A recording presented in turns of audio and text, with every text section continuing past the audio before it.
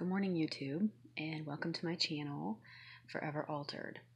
Um, I had a little thought yesterday, a realization, if you will, um, that in order to be in a relationship with a narc, we have to be willing to um, have a relationship that has no investment required. Um, the narc will obviously want you to invest, but they will not.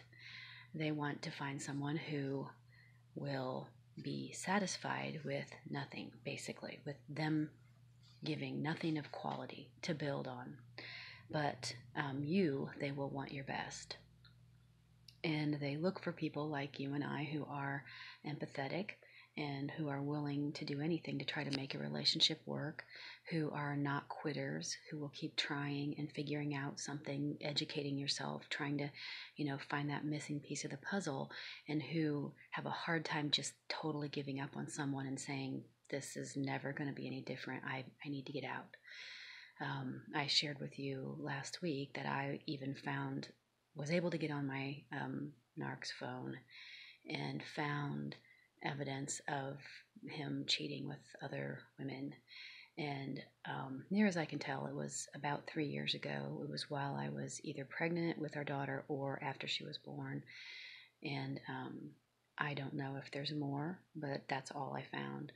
Um, I confronted him, and his attitude was, you know, that was before we really knew what we were doing. And, you know, I thought you were doing that. So he, just explained it away. He left me with a big pile of hurt and pain, of course, and um, a lot of unanswered questions, and he basically just let me hang with it. So, you know, it's it's over for him. It it didn't shock him. He didn't see me having sex with someone. He he didn't have to look at that. He saved videos and um, pictures, videos, videos. So uh, that's pretty shocking and it was very hurtful. But, you know, there you go. He he's not empathetic. He could really care less. He's just moving on and trying to go back to the way things were. Um, so I'm I was thinking to myself, that's the problem. They want no investment required. They want you to be willing to accept that in any relationship there is a requirement of some investment of your resources. It should be mutual. You should be uh, both working towards a goal and be offering your best resources. And um, sometimes one partner may put forth more effort than the other, but in, in looking back, it should be mutual over the long haul, a give and take, somewhat equal. It shouldn't be you're the one trying everything to make it work and they just don't care. And um, that's you know what that's a relationship with a narc so to make a long-term committed and valuable relationship you need to put forth some of your resources your investment into the relationship. So I, w- I thought about um, just talking about that for a little bit about what what is it that we're giving and then what is it that we're receiving and thinking about you know what we expect to get out of that. Maybe to talk some sense into me and you both all all of us. So i made a list. And um, what do i give? What am i trying to offer in a relationship? If you want to make an investment in a relationship and you want it to be a quality relationship that that is able to build on and be a forever thing or a long term thing. Um, you offer. You offer trust. You offer honesty. You offer empathy, compassion, passion. You offer love. You offer respect. You offer understanding, forgiveness, and honor. And I feel I have offered all of those things, and I've been shut down in many ways. Um, forgiveness, I think, is a big one because a narc wants you to really offer forgiveness. Every transgression, every insult, every put down, every rage session, he wants you, he or she wants you to forgive, move on, and go forwards. My narc said to me the other day, You're the one that keeps score. You're the one that records when we are fighting because he knows. I mean, I've played things for him. I wasn't trying to keep a secret that I was recording him. And, um, but to him, it's like, you know, just forgive and forget and move on. To me, I started recording so I could play back the argument later by myself and literally was hoping to find some evidence that, you know, maybe it is me. Maybe I'm provoking it. Maybe I should have, you know, done, but, but ultimately I found that it was nothing more than gaslighting, trying to blame me for everything. He would say, "You provoked me. You started it. You did this. Well, you came at me with this attitude." And and I was able to listen to the fight and listen to how it transpired almost from the beginning because you can tell when a narc's about to blow. So it may not have been right at the beginning, but it was very close. And so I was able to get enough information to know that it wasn't me. It was not me. Um, anyway, so what are we getting? What are we getting back? What does that no investment look like?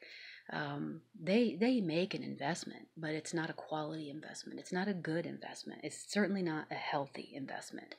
Um, they are investing secrecy, lies, cheating, which I have now learned that if you think they're not cheating and they're being secretive, you are wrong. You are you are living in a delusion. They are cheating if if they're living a secret life and they're even disappearing once every couple months if they are keeping you away from their friends and keeping you away from their family and and just really you have no evidence of of what they're doing aside from what they do in your home i guarantee you they're cheating.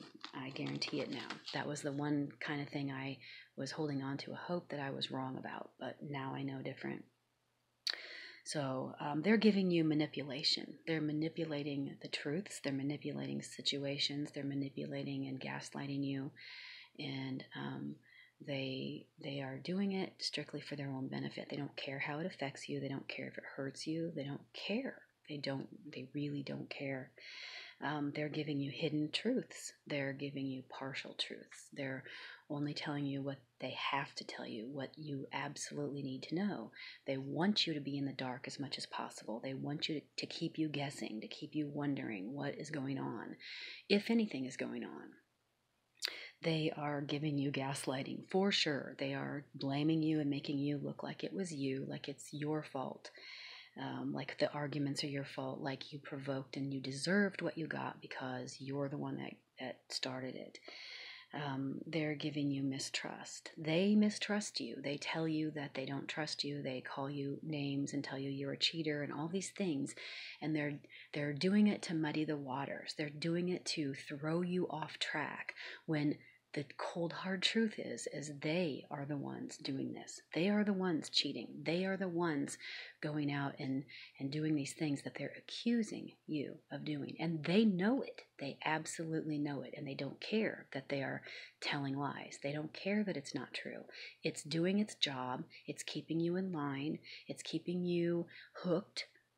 That's all they really care about. They are still getting what they want out of the situation. They are getting the supply they require, and that is the ultimate goal. They don't care how it affects you. If it's true or not, it's irrelevant.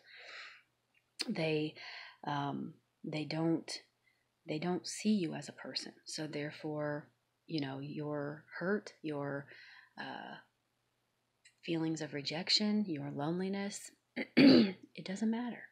Um, they will trash your opinion of yourself. And uh, I have been called every name under the sun. I, have some audio I think I might share.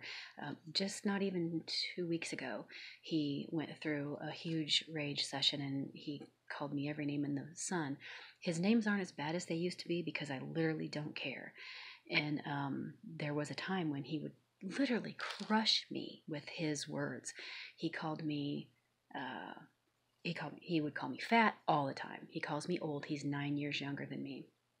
I'm 51. He's called me everything from 52 to 55, like he wants to hedge it up to make it worse or old. You know, you're older. And um, I've said to him, "Who cares?"